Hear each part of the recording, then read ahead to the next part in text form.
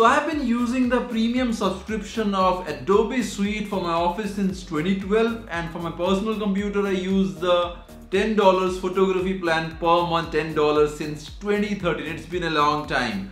But today when I saw my credit card statement it was showing up $20 a month has been deducted since last 3 months instead of $10 I was like what the fuck? Double the charges? I mean come on Adobe you cannot do that. I mean it makes sense. Why so many people use pirated Adobe content. I mean it totally makes sense. $10 and $20 absolutely double the charges. No way. I'm not paying that so basically what Adobe played is $10 a month was for 20 GB of cloud storage and $20 a month comes with 1 TB of cloud storage. But again, there are many customers like me who do not even care about the cloud storage and mainly use those tools for editing only. So a steep $20 from $10 a month is not going to work for me. I went ahead and canceled my subscription of $20 a month, then did a bit of research and found that there is still a secret Adobe link from where you can buy the same photography plan subscription of Adobe for $10 a month.